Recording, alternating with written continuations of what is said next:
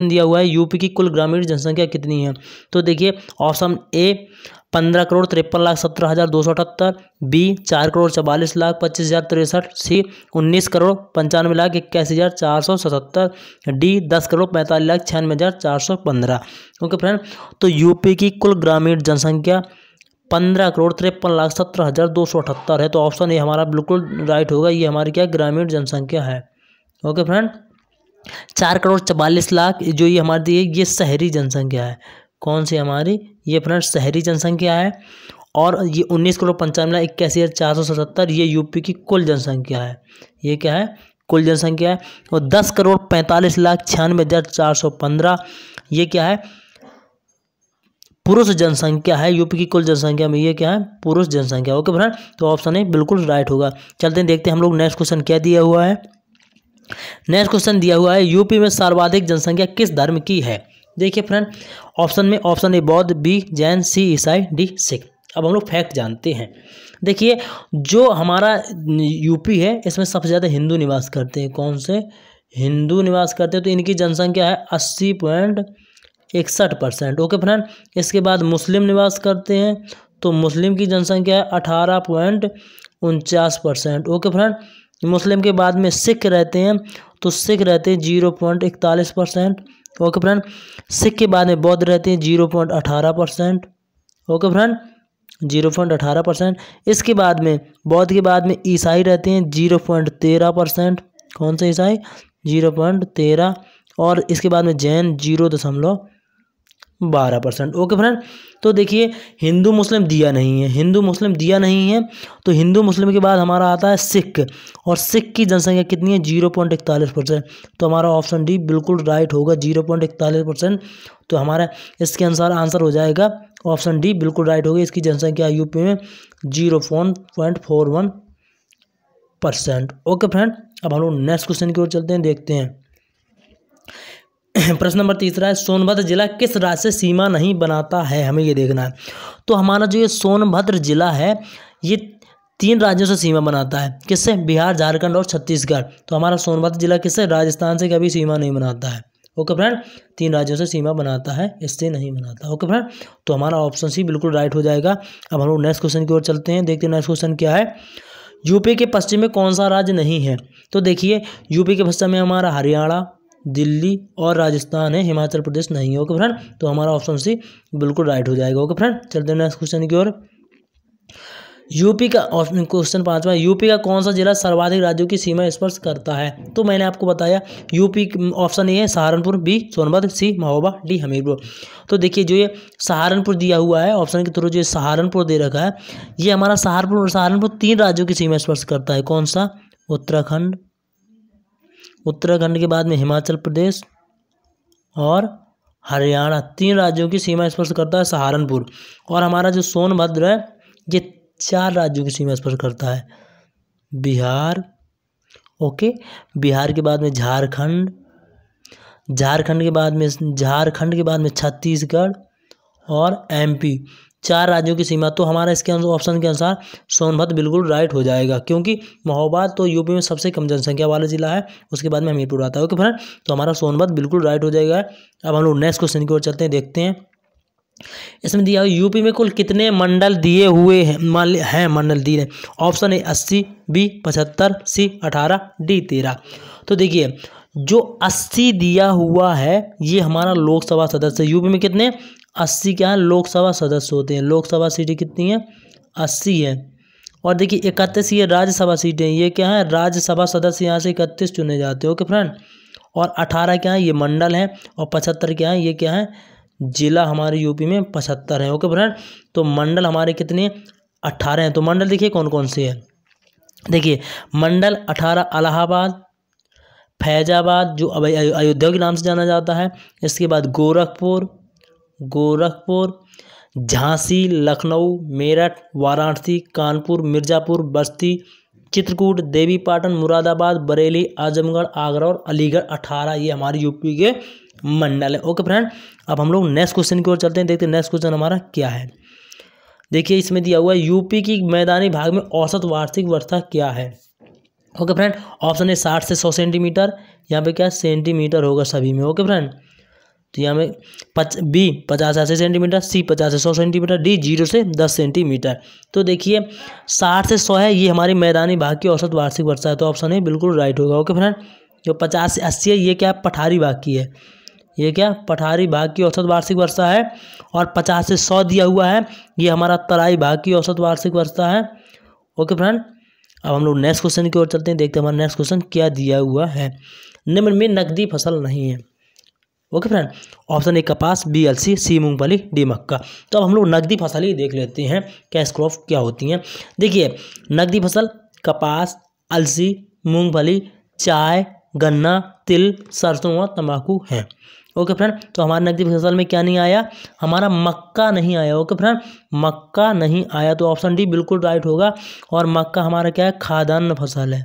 खाद्यान्न फ़सलों में आता है। ओके फ्रेंड तो देखिए, खाद्यान्न फ़सलें कौन कौन सी थी? गेहूँ, चना, चावल, जौ, मक्का तथा बाजरा, ये हमारी क्या है? खाद्यान्न फ़सलें। ओके फ्रेंड, अब हम लोग नेक्स्ट क्वेश्चन की ओर चलते हैं, देखते हैं नेक्स्ट क्वेश्चन हमारा क्या दिया हुआ है।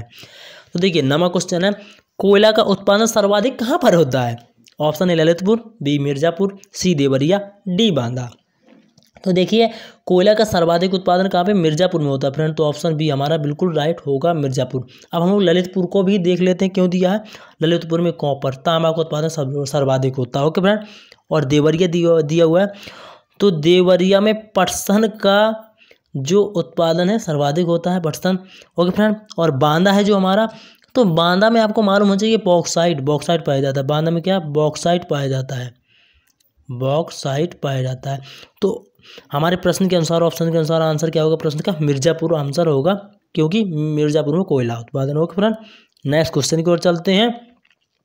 प्रश्न नंबर दसवां है, संगमरमर पाया जाता है। संगमरमर option A, Sonbhadra, B, Mirzapur, C, Allahabad, D, Banda. Okay friend तो संगमरमर का उत्पादन संगमरमर पाया जाता है मिर्जापुर में।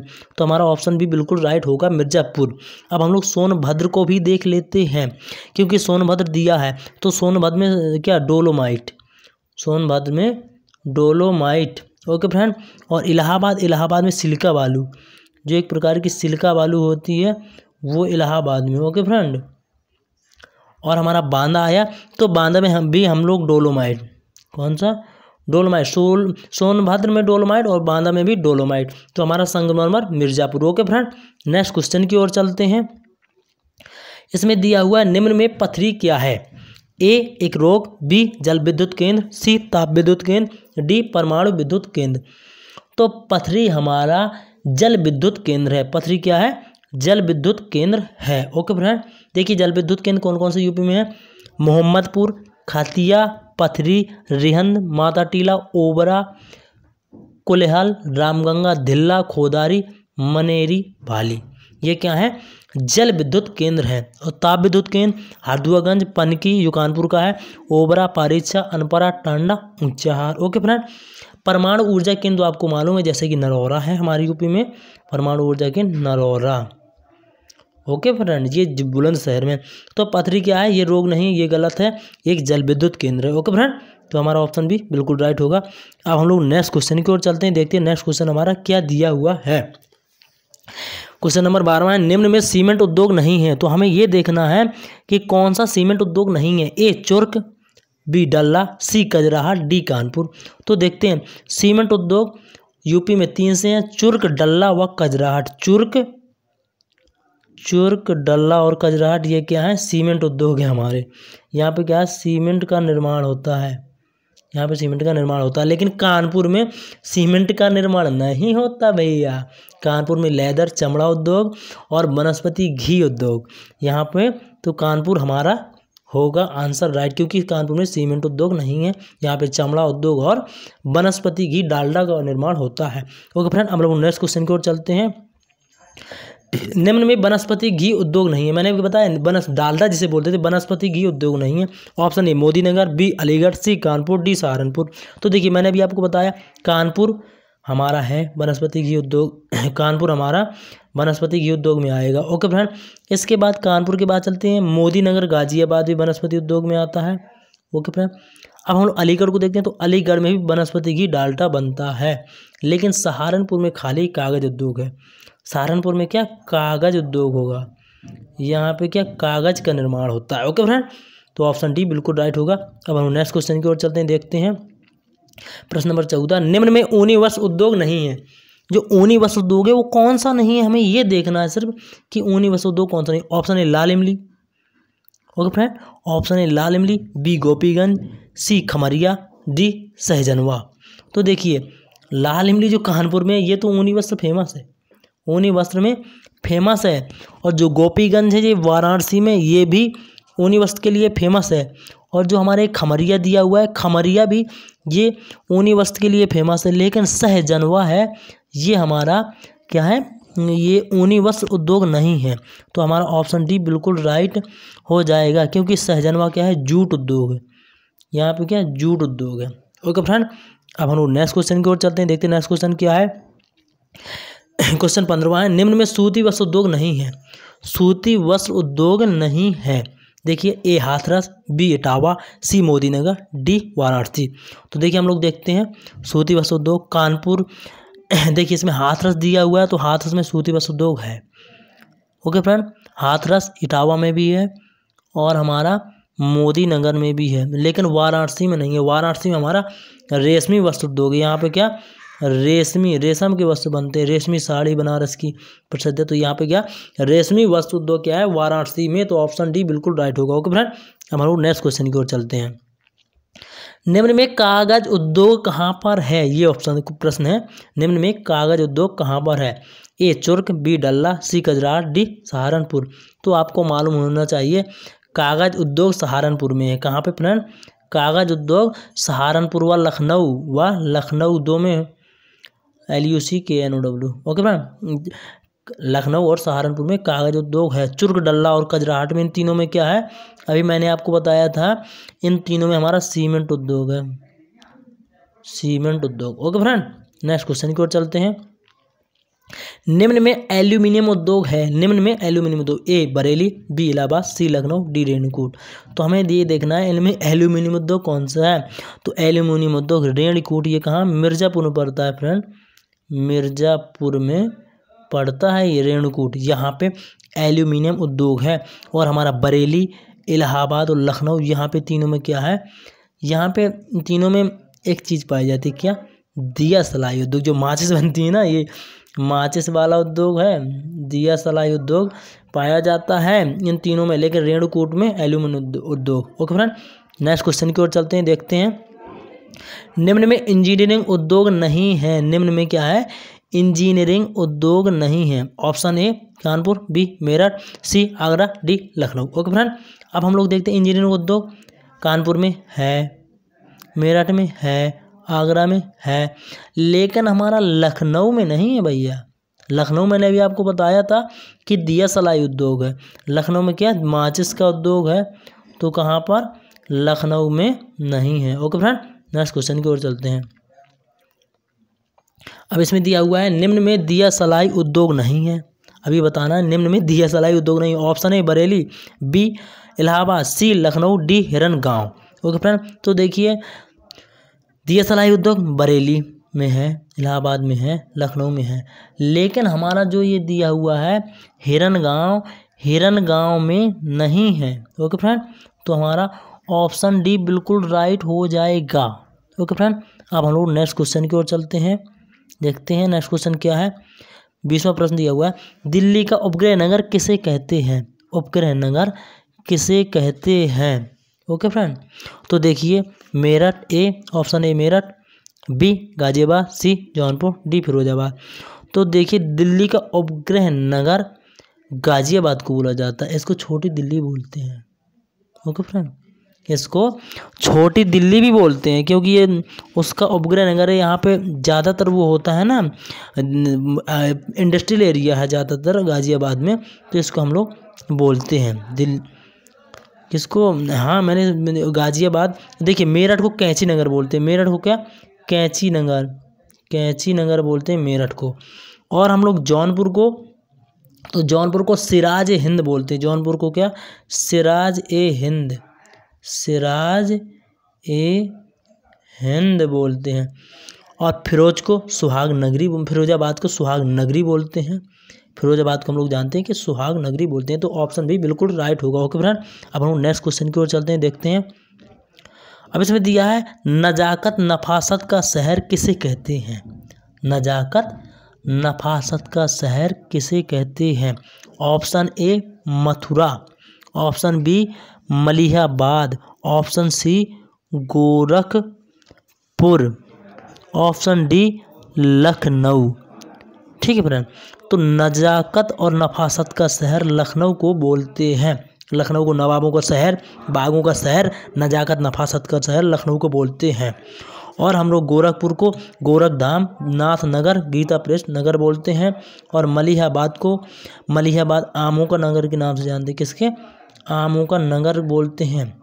और मथुरा को हम लोग कृष्ण की नगरी, पेड़ा नगरी, पंडों की नगरी, कृष्ण नगरी बोलते हैं हम लोग मथुरा को। ओके फ्रेंड, अब हम लोग नेक्स्ट क्वेश्चन देखते हैं। क्या दिया हुआ है? नेक्स्ट क्वेश्चन है, मुक्ति नगर किसे कहते हैं? Option A Ayodhya, option B Agra, option C Aligarh, option D Varanasi दिया हुआ है इसमें। Okay friend, option D Varanasi. तो देखिए मुक्ति नगर हम लोग वाराणसी को बोलते हैं। विश्वनाथ नगरी मुक्ति नगर और घाटों का नगर। देखिए, एक चीज़ स्पष्ट कर लेना। घाटों का नगर मैंने भी बताया था और घाटों का वो भी बोला था अभी मैंने। इसको बोला था जो ये मथुरा था ना, मथुरा को बोला था पन्नों की नगरी। पन्नों की नगरी और घाटों की नगर में अंतर है, इसे याद रखना। और देखिए मुक्ति नगर वाराणसी को बोलते हैं ओके फ्रेंड अब हम लोग हम लोग अयोध्या को क्या बोलते हैं? अयोध्या को तीर्थ नगर बोलते हैं। तीर्थ नगर बोलते हैं, रामनगर भी बोलते हैं और राम जन्मभूमि भी है। ओके फ्रेंड, आगरा को ताज नगरी, पेठा नगरी। ताज नगरी, पेठा नगरी, अलीगढ़ को ताला नगरी सब कोई जानता ही है। ओके फ्रेंड तो ऑप्शन डी बिल्कुल राइट होगा। अब हम लोग नेक्स्ट क्वेश्चन की ओर चलते हैं, देखते हैं नेक्स्ट क्वेश्चन क्या है। निम्न में विश्राम घाट कहाँ पर है? Option A Mathura, option B Agra, option C Fatehpur Sikri, option D Sikandra. तो हम लोग ये देखना है विश्राम घाट कहाँ पर है? तो देखिए, पहले मथुरा में हम लोग फैक्ट जानते हैं मथुरा के बारे में। तो मथुरा में क्या क्या है? मथुरा में हमारा, मथुरा में हमारा गिरिराज जी का मंदिर है। Okay friend? और मथुरा में बलदाव जी का निवास स्थान है। चार हज़ार मंदिरों हज़ार मंदिरों, घाटों एवं सरोवरों का पवित्र नगर भी है। Okay friend? और हम लोग आगरा में देखते हैं तो आगरा में क्या क्या है? आगरा में, देखिए, आगरा में अकबर की समाधि है। अकबर की समाधि आगरा के कहाँ पर? ये सिकंदरा में अकबर की समाधि ओके फ्रेंड? इसको याद रखना। देखिए, जो सिकंदरा दिया हुआ है, यहाँ पे अकबर की समाधि है। यहाँ पे क्या? अकबर की समाधि दी हुई है। लेकिन आगरा में ताजमहल है। आगरा में, खाली आगरा में ताजमहल और सिकंदरा आगरा में अकबर की वो है, समाधि है। और जो फतेहपुर सीकरी दिया हुआ है ना, यहाँ पे बुलंद दरवाज़ा सलीम चिश्ती की दरगाह है। यहाँ पे बुलंद दरवाज़ा है। तो हमारा मथुरा में विश्राम घाट रोहेला सूर्य मंदिर भी है। मथुरा में विश्राम घाट और रोहेला सूर्य मंदिर ओके फ्रेंड? तो हमारा ऑप्शन ए बिल्कुल राइट हुआ, ओके फ्रेंड? नेक्स्ट क्वेश्चन की ओर चलते हैं। इसमें दिया हुआ है, निम्न में ईंट निर्मित गुप्तकालीन मंदिर कहाँ पर है? ईट निर्मित गुप्तकालीन मंदिर है। देखिए, option A Bhitargaon, B Bithoor, C Chitrakoot, D Mathura. तो हम लोग अब भीतर गाँव को देखते हैं। तो भीतर गाँव ये हमारा कहाँ? कानपुर में है और यहीं पर ईट निर्मित गुप्तकालीन मंदिर है, अभी भी कानपुर में। ओके फ्रेंड तो ऑप्शन है बिल्कुल राइट हुआ। अब हम लोग बिठूर कानपुर को देखते हैं। यहाँ पे इस गंगा तट गंगा तट पर महर्षि वाल्मीकि का आश्रम यहीं पर अभी बिठूर में है। ओके फ्रेंड, और चित्रकूट देखते हैं। तो चित्रकूट हमारा, आप जानते हैं, चित्रकूट को आप गए होंगे यदि कभी तो भगवान राम का प्रवास स्थल है। यहाँ पे आए थे भगवान राम जी जी वनवास के समय में। और यहीं पे भरतकूप भरतकूप है और गुप्त गोदावरी भी चित्रकूट में ही है। यहाँ पे क्या? गुप्त गोदावरी भी है। ओके फ्रेंड, और मथुरा तो सब कोई जानता ही है तो मथुरा में विश्राम घाट और रोहिल्या सूर्य मंदिर मथुरा में। तो ऑप्शन है बिल्कुल राइट होगा। ओके फ्रेंड, अब हम नेक्स्ट क्वेश्चन की ओर चलते हैं। ये क्वेश्चन बहुत अच्छा है। इसमें दिया प्रश्न नंबर पच्चीसवां है भरथरी का मंदिर भरथरी का मंदिर। यहाँ पे हरी होगा, भरत हरी का मंदिर है। ओके फ्रेंड, यहाँ पे क्या होगा? हरी होगा, भरत हरी का मंदिर। Option A Chunar, option B Ayodhya, option C Bahraich, option D Sitapur. Okay friend तो देखिए चुनार मिर्ज़ापुर है, चुनार मिर्ज़ापुर में यहीं पे हमारा भरधरी का मंदिर क्या है? चुनार मिर्ज़ापुर में है। और देखिए अयोध्या, फैजाबाद, भगवान रामचंद्र जी की नगरी में आ ही चुके हम लोग। तो आप लोग जानते हैं कि कनक भवन है यहाँ पे। यहाँ पे क्या है? कनक भवन, सोने का भवन जिसको बोलते हैं। कनक में सोना होता है। कनक भवन अयोध्या में। और बहराइच में सैयद सालार मसूद गाजी की दरगाह है। सालार मसूद गाजी की दरगाह क्या है? बहराइच में है। सालार मसूद गाजी की यहाँ पे क्या है? दरगाह है। ओके फ्रेंड और सीतापुर में आगे हम लोग, सीतापुर को आप लोग जानते हैं महर्षि दधीच जी ने यहाँ पे तप किया था, उनकी तपोस्थली है, ललिता देवी का मंदिर यहीं पे है, और ब्यास जी की गद्दी भी है वहीं पे हनुमान गढ़ी पंचांडव और नेमिसारण वन बहुत अच्छा ही है हमारा सीतापुर में। तो हमारा भारतरी जी का मंदिर चुनार मिर्ज़ापुर में। Okay friend thanks for watching आप हमारे वीडियो को ज़्यादा से ज़्यादा वॉच कीजिए लाइक